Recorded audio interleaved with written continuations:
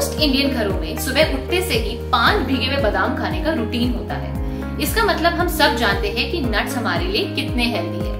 Nuts actual में seeds होते हैं जो एक हार्ड शेल के अंदर पाए जाते हैं और इस शेल में वो प्रोटेक्टेड रहते हैं। इंडिया में काफ़ी वैरायटी के नट्स अवेलेबल है, जैसे कि बादाम, काजू, अखरोट, पिस्ता।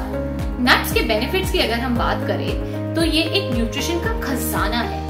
नट्स को खाने से सिर्फ़ हमारी बॉडी ही हेल्दी नहीं रहती है, पर हमारी स्किन भी खूबसूरत रहती है और हमारे बालों के लिए भी ये बहुत ज़्यादा फ़ायदेमंद है। ये तो हम सभी जानते हैं कि नट्स में काफ़ी सारे गुड फैट्स होते हैं, जो हमारे कोलेस्ट्रॉल को कम करने में मदद करते हैं और हमारे हार्ट को भी हेल्दी रखते हैं।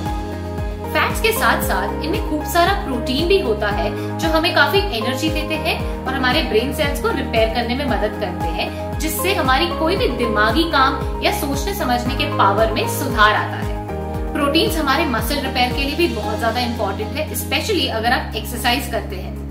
प्रोटीन को पचाने में भी काफ़ी लंबा समय लगता है, जिससे हमारा पेट लंबे समय तक भरा हुआ फील रहता है और हमारे वेट लॉस में हमें सहायता मिलती है।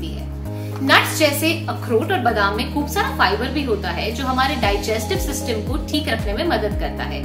अखरोट में काफ़ी अच्छी मात्रा में ओमेगा थ्री पाया जाता है, जो हमारे शरीर और दिल को बहुत लाभकारी होता है। अखरोट जैसे नट्स हमें कैंसर जैसी बीमारियों से भी बचने में मदद करते हैं। नो डाउट नट्स में बहुत सारे हेल्थ बेनिफिट्स हैं, पर क्योंकि ये फैट में हाई होते हैं, हमें उन्हें स्मॉल क्वांटिटीज में खाना चाहिए रोज़ाना, जैसे आठ से दस पीसेस क्योंकि anything in excess is bad for health आप नट्स को अपने डाइट में अलग अलग तरीके से ऐड कर सकते हैं। जैसे कि आप उन्हें रॉ खा सकते हैं या रोस्ट करके खा सकते हैं अपने मिड मील स्नैक्स के जैसे, क्योंकि आपको लंबे समय तक फुल फील करने में मदद करते हैं। और ये कैरी करने में भी बहुत ही इजी है। आप नट्स का नट बटर बनाकर उसे टोस्ट बिस्किट या खाकरा के साथ खा सकते हैं।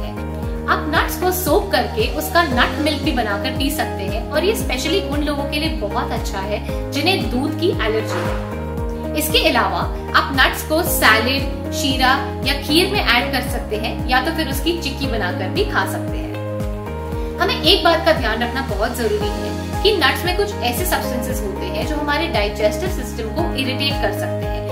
इसीलिए नट्स को सोक करके खाना बेटर है, क्योंकि उससे ये सब्सटेंसेस कम हो जाते हैं और हमें ज़्यादा से ज़्यादा हेल्थ बेनिफिट्स मिल सकते हैं नट्स से। आप नट्स को ओवरनाइट सोक करिए या कम से कम चार से छह घंटे सोक करके फिर खाएँ। क्योंकि नट्स में बहुत ज़्यादा ऑयल कंटेंट होता है, ये जल्दी से खराब हो सकते हैं, जिससे इनमें एक खट्टी टेस्ट और अजीब सी स्मेल आती है और ये नट्स हेल्थ के लिए अच्छे नहीं होते हैं। अगर आपको इनकी शेल्फ लाइफ बढ़ानी है इन्हें एयरटाइट डब्बों में स्टोर करके रखना बहुत ज़रूरी है। तो नट्स को अपने डेली डाइट में इंक्लूड कीजिए और स्मार्ट रहिए।